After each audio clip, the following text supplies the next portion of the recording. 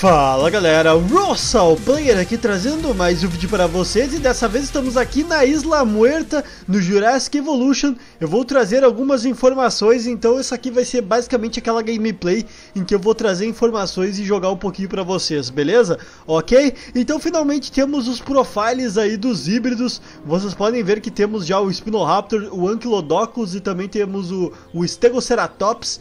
Os profiles deles já foram liberados, eu vou deixar um link até para vocês acessarem o canal do Jurassic Evolution, o oficial, e lá eles mostram exatamente, além dos profiles que eu vou mostrar aqui para vocês nos vídeos, tem também os profiles dos outros dinossauros, muito legal, para você aí que não conhece, eu vou deixar na descrição e também aí no tópico fixo. Beleza, então, o que temos aí parece então que os híbridos, eles vão ter uma característica bem uh, familiar ao que a gente já vê nos dinossauros que vão se fundir.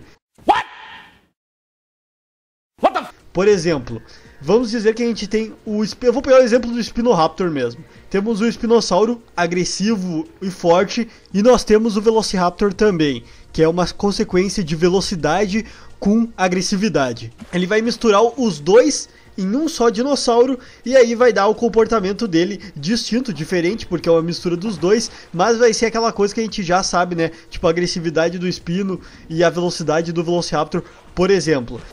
An InGen hybrid combining the size, power and aggressive capabilities of the Spinosaurus então a gente já sabe com isso traçar o que, que vai ser os outros dinossauros, os outros híbridos. Por exemplo, o Stegoceratops. O Stegoceratops ele vai ser basicamente a força do Stegossauro e do Trike fundida em um, e também a resistência do Triceratops, porque o Triceratops é mais resistente que o Stegossauro. Se não me engano, o Triceratops tem mais defesa. Eu não tenho certeza agora, mas tanto faz, daí vai pegar a defesa maior de um para a defesa maior do outro, então tanto faz se o Trike ou o Stego forem os mais fortes, fato é que ele vai pegar a resistência de um, né, a defesa de outro e aplicar nesse híbrido, então ele vai, vai, ser, vai ter a defesa do mais forte e o ataque do mais forte.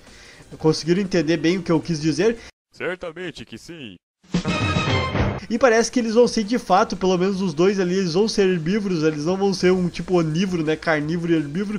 Não, eles vão pegar uh, a característica herbívora mesmo do dinossauro, a menos que eles façam um híbrido que seja uma fusão de um dinossauro herbívoro com carnívoro. Aí sim ele seria onívoro, que é o que está parecendo que vai ser mesmo. Eles vão pegar a característica dos dinossauros fundidos e criar um que tem alguma coisa diferente. Por exemplo, na hora do, do Ankylodocus, eles vão pegar por exemplo, a força do anquilossauro e a resistência de um, de um pescoçudo, né? Que tem que é o. o.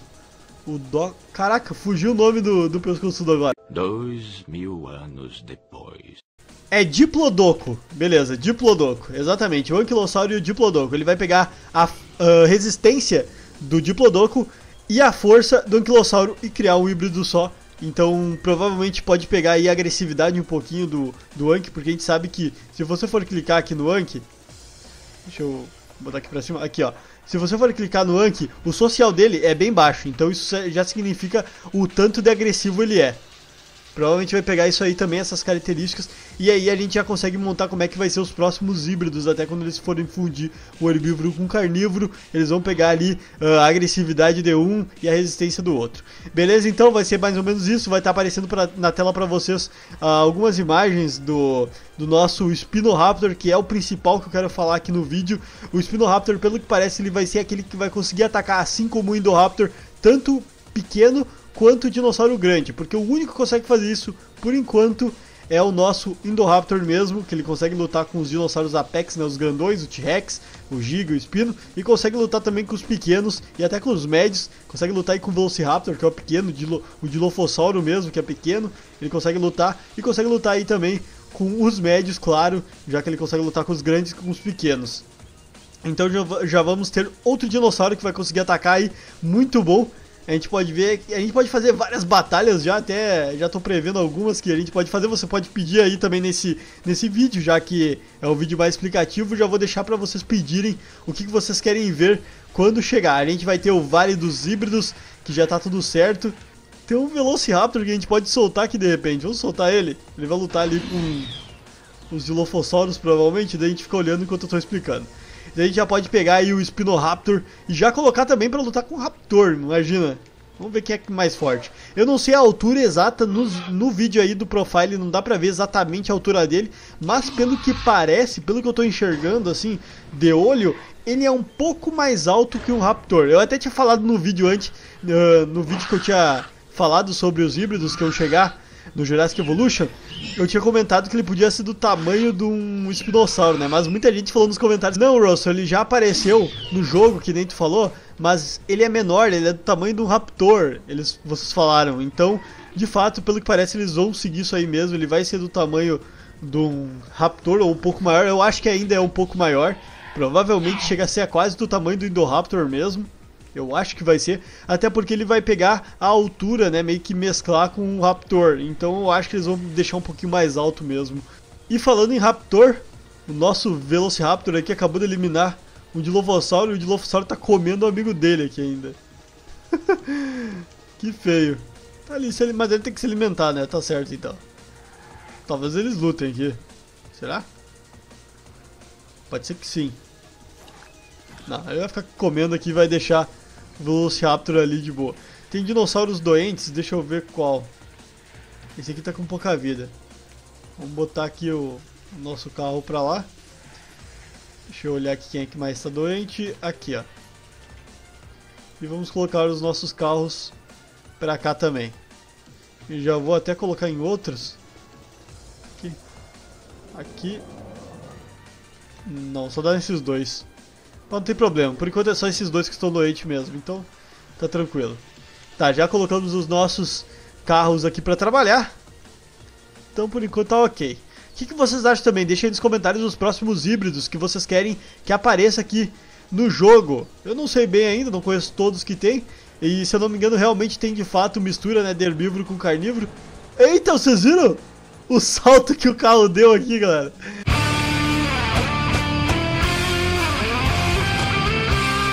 Caraca, deu um salto gigantesco. Chegou, chegou a pular por cima da loja aqui. Opa, tem luta? Aqui, ó.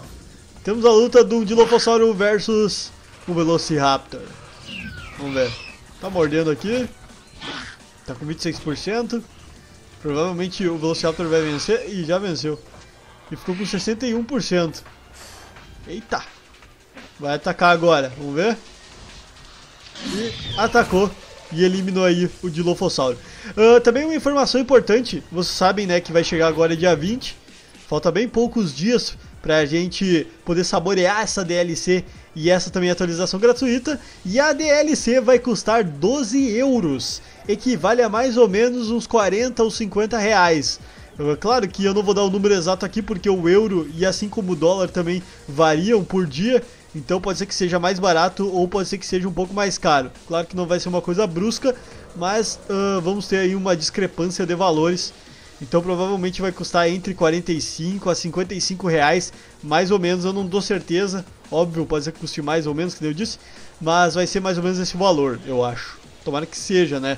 Porque se for mais caro, aí sim, né? Eu queria que fosse mais barato, óbvio. Mas, como vai ser esse preço, tomara que seja mais ou menos 40 mesmo. Mais baratinho. Caraca, quanta gente aqui. Tá gigante o nosso parque. O que provavelmente é o que eles vão acabar fazendo ao decorrer do tempo. Vão lançar DLCs em que eles coloquem mais ou menos umas duas espécies de dinossauro e umas três de híbrida. Provavelmente eles vão ficar fazendo isso agora. E até para deixar o jogo mais vivo, eles vão ficar atualizando por pelo menos a cada dois meses, três meses. Eu não sei exatamente uh, qual que vai ser o ritmo deles. Mas eu espero que seja mais ou menos por aí, uns dois meses, que nem foi, né? Do Fallen Kingdom pra cá. Então a gente já espera aí provavelmente mais híbridos que eles vão colocar, assim como novos dinossauros. Talvez que tenham aparecido na franquia já, nos jogos e filmes. Ou dinossauros novos mesmo que nunca tenham aparecido. Eles podem adicionar aqui pra cá. E a gente já pode esperar aí novas espécies. Bom, então é isso. Espero que vocês tenham gostado e divertido. Por favor, deixe seu like, comentário e se inscreva no canal caso ainda não for inscrito. Esse vídeo é basicamente uma gama de informações mesmo que eu queria passar para vocês. Só estava esperando aparecer o profile aí dos dois dos três dinossauros híbridos. E agora provavelmente já vai aparecer o profile do Trodon também, o profile do outro Orolodossauro, eu não lembro direito como é que é o nome do, do dinossauro, eu tô com uma amnésia nesse vídeo. Mas até o outro dinossauro novo que vai aparecer, provavelmente ele vai colocar, eles vão colocar os profiles aí pra vocês e aí vocês podem conferir aí na descrição que eu deixei pra vocês seguirem exatamente pro Jurassic Evolution. Ok? Então é isso. Não se esqueça de me seguir nas redes sociais, Facebook Instagram. E também não se esqueça aí de clicar e ativar o sininho para receber as notificações dos próximos vídeos e também seguir o canal. Até mais e tchau, valeu, fui! Até mais.